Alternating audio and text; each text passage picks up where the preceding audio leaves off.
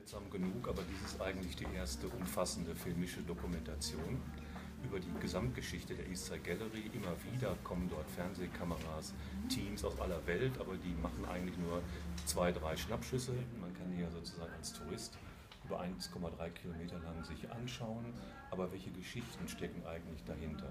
Und da haben wir uns sehr konzentriert auf die Künstlerinnen und Künstler, die das 1990 in Angriff genommen haben zunächst als eher spontane Aktion gedacht, hat sich daraus jetzt ein wichtiges nationales Denkmal entwickelt.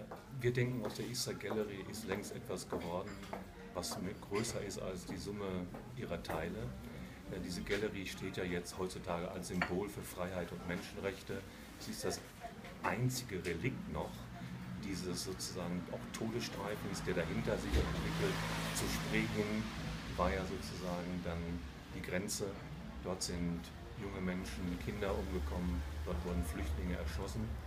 Und bei der Easter Gallery lässt sich das nun in einem Kontext anschauen, der irgendwie packender, sinnlicher ist, als vielleicht bei der offiziellen Gedenkstätte in Berlin, der Bernauer Straße. Dort ist alles sehr akademisch, sehr durchstrukturiert. Bei der Easter Gallery ist es eher ein, äh, ein lebendiges Unikum. Das haben halt Künstlerinnen und Künstler geschaffen.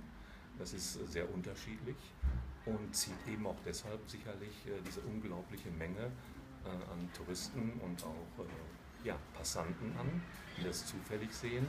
Aber es ist wirklich ein Magnet geworden und Berlin tut gut daran und auch eigentlich der Bund, dass man dieses Mahnmal erhält.